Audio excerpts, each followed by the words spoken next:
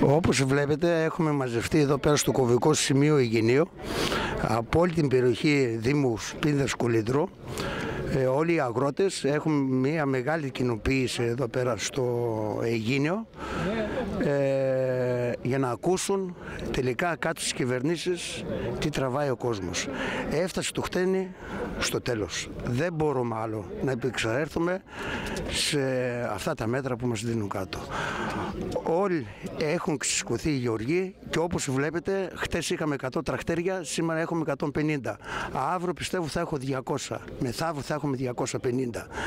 Τον δρόμο που κλείνουμε, τον κλείνουμε μόνο συμβολικά για να, για να ακουστούμε. Αλλιώς δεν ακουγόμαστε κάτω στην κυβέρνηση.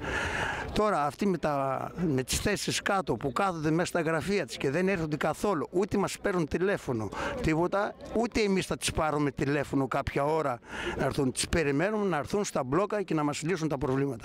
Δεν λύνονται τα προβλήματα, εμείς παραμένουμε εδώ πέρα, έτσι κι αλλιώς πεινάμε. Τι να πάω να κάνω στο σπίτι, από την ώρα που θα μου πει η γυναίκα μου, δώσει με ένα δεκάρικο να πάω να ψουνίσω γάλα για τα παιδιά. Δεν υπάρχει. Και έτσι καθόμαστε εδώ πέρα. Βγάλαμε αμόφωνη απόφαση, καθόμαστε εδώ πέρα, κάθε μέρα θα κλείνουν τα μπλόκα, συμβολικά θα κλείνουμε.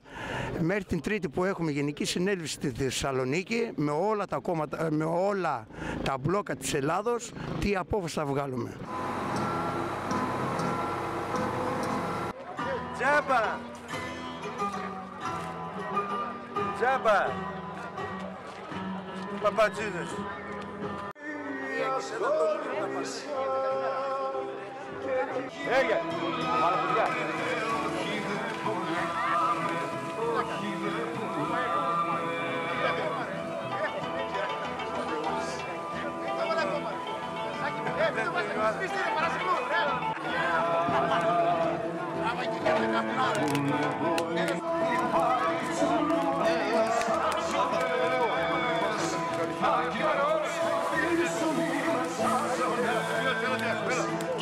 Και το κουτιά πάνω ρε.